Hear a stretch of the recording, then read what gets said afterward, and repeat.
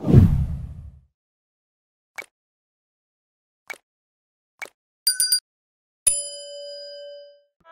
बार बार मुझे क्यों जता रही हैं? मैंने तो उन्हें ये सब करने के लिए नहीं कहा।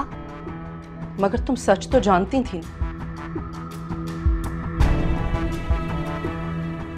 हाजरा तुम चाहे किसी को कुछ ना बताती। कम से कम मुझे तो बता देती। कि उस रात माँ पारा खुद सुहेल के कमरे में नहीं गई थी बल्कि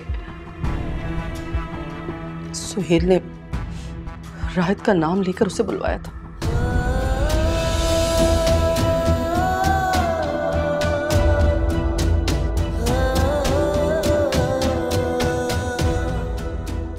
उस वक्त मैं अपना शौहर नहीं खोना चाहती थी। कैसी औरत हो तुम हाजरा? तुमने अपने शोहर की बदकिरदारी छुपाने के लिए उस मासूम और बेगुनाह लड़की पर जुल्म किया।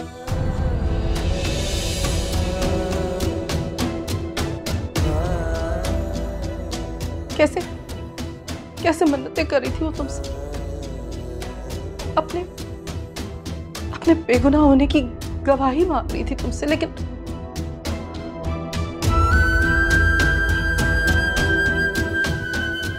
माँ पारा उनकी जिद थी। और वो उसे किसी भी कीमत पे हासिल करना चाहते थे। आपको क्या लगता है कि मेरी गवाही देने से आप उसे रोक लेती या उसे बचा सकती थी? झूठ बोल रही हो तुम। तुम सुहेल पर हुक्मरानी करने के लिए उसका गुनाह छुपा रही थी। हाजरा बहुत खुदगर्ज हो तुम। बहुत ज़्यादा। खुदगर्ज तो आप भी हैं। अपने बेटे की ज़िंदगी से निकालने के लिए आपने क्या कुछ नहीं किया? हत्या के उसे यह कह दिया कि राइट उसे उसके वक्त की कीमत देकर गया है।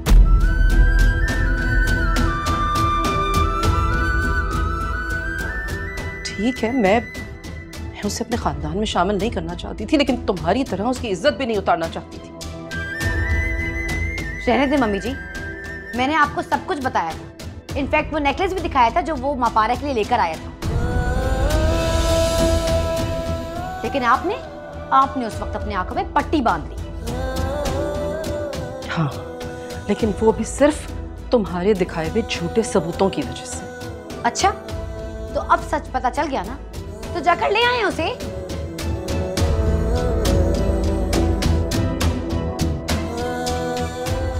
मेरी तो समझ में नहीं आ रहा कि महापारा ऐसी हरकत भी कर सकती। सुहेल जो तुम समझे हो क्या उसका मतलब भी वही था?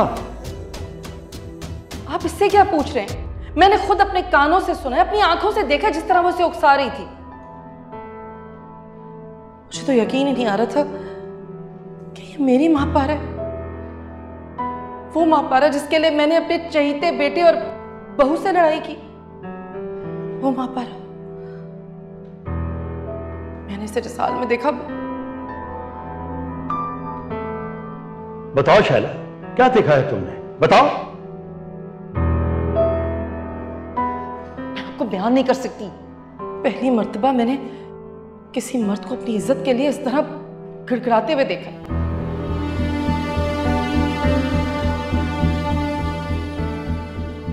भाभी प्लीज़ बाहर आए। आपने तो सब कुछ अपनी आँखों से देखा था ना? आप तो मेरी गवाही दे। निकलो निकलो यहाँ से। हमें किसी की गवाही की ज़रूरत नहीं है। तुम्हारी बदकिरदारी सबके सामने आ चुकी है। रुक जाए मोम। मुझे इससे पूछना है। तुमने मेरा नाम क्यों लिया? रायत कुत्ता पागल हो जाए तो उससे काटने की वजह नहीं पूछते सीधा गोली मार देते। मम्मी जी मैं सच कह रही हूँ मेरी बात का यकीन करें। इन्होंने मुझे लेटर लिख के बुलाया था यहाँ पे।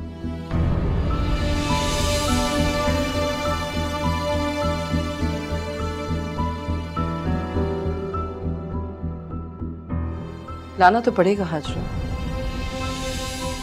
तुमने उसको जितना बदनाम किया है, उसकी खोई हुई इज़्ज़त वापस देनी होगी हमें। साफ़ कहे ना मम्मी जी, कि अब वो आपके काम की हो गई है। उसकी नौकरी ऐसी है, जो आपके बिज़नेस को संभाला दे सकती है। इसलिए उसका रुतबा देखकर आपके ख्यालात बदल गए हैं। अगर आज भी वो एक मुंशी की बेटी होती तो?